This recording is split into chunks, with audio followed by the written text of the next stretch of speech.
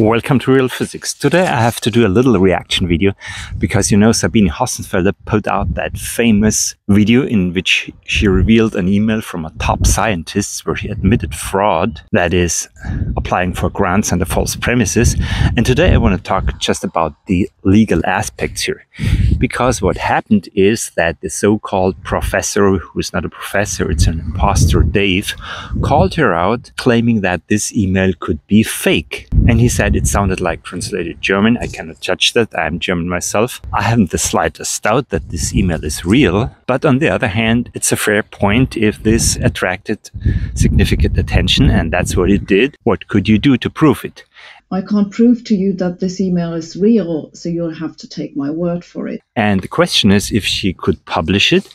And I think there is no reason why she shouldn't. There is no criminal law involved. She's not a lawyer. She's not She's not a psychologist, no profession for which it would be forbidden to publish that.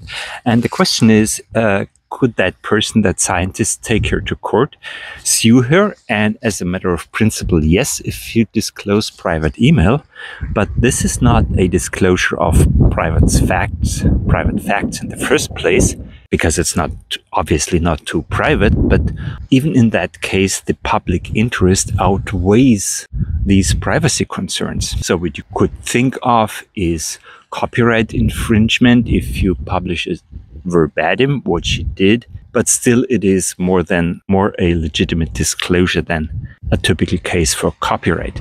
If she alters the text, she would on the other hand, risk defamation, and then the person could claim she manipulated or edited or rephrased it in a way to make her point stronger. So I think the correct way is just to publish it as it was written and also to analyze and to comment. That's what she did. There is also no non-disclosure agreement because the person asked for confidentiality. Okay, but he didn't wait for her to agree, so there is no legal binding agreement. At the very end, there is also a whistleblower protection from the First Amendment.